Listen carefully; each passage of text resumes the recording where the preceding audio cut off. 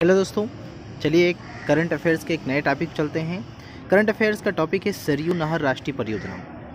तो इसके हम कुछ मेन पॉइंट देखेंगे। देखिए प्रधानमंत्री नरेंद्र मोदी 11 दिसंबर यानी कि कल के दिन उत्तर प्रदेश के बलरामपुर ज़िले में 9,802 करोड़ रुपए की सरयू नहर राष्ट्रीय परियोजना का उद्घाटन करेंगे। आइए हम समझ लेते हैं सरयू नहर परियोजना। देखिए सरयू नहर परियोजना जो है उत्तर प्रदेश की सबसे बड़ी परियोजना है।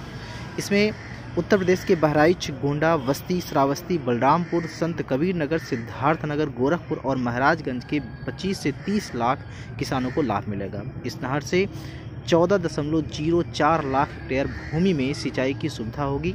साथ ही क्षेत्र के कई बाढ़ संभावित क्षेत्रों में बाढ़ के खतरे को कम किया जा सकेगा। इस परियोजना के तहत सिंचित क्षेत्र चार दशमलव ज़ीरो चार लाख हेक्टेयर होगा। आइए हम इस परियोजना के तहत कुछ जुड़ी नदियों के बारे में समझ लेते हैं कौन सी नदियाँ जुड़ी हुई हैं। इस परियोजना के तहत पाँच नदियाँ जुड़ी हुई हैं घाघरा राप्ती बाणगंगा सरयू और रोहड़ी। चलिए नहर की लंबाई भी देख लेते हैं। नहर की लंबाई कुल 6,600 किलोमीटर है और इन्हें 318 किलोमीटर लंबी मुख्य नहर से जोड़ा गया है। इस नहर की टोटल लंबाई है 6,600 किलोमीटर। परियोजना का इतिहास भी देख लेंगे। देखिए अठहत्तर दशमलव अड़सठ करोड़ रुपए की लागत से दो जिलों में सिंचाई सुविधा प्रदान करने के लिए उन्नीस सौ अठहत्तर में इस परियोजना को छोटे पैमाने पर शुरू किया गया था।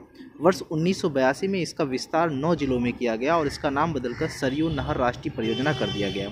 और इस परियोजना की लागत 2021 तक बढ़ाकर नौ हज़ार रुपये या आठ सौ दो करोड़ रुपए कर दिया गया। सरयू नदी क्या है? देखिए, सरयू नदी उत्तराखंड के बागेश्वर ज़िले में नंदा कोट पर्वत के दक्षिण में एक पहाड़ी से निकलती है।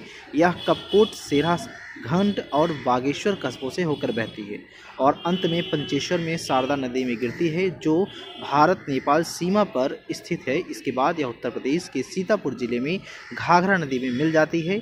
लोअर घाघरा को सरयू नदी के नाम से भी जाना जाता है, खासकर जब यह अयोध्या शहर से होकर बहती है। रामायण में इसी नदी का कई बार उल्लेख किया गया है।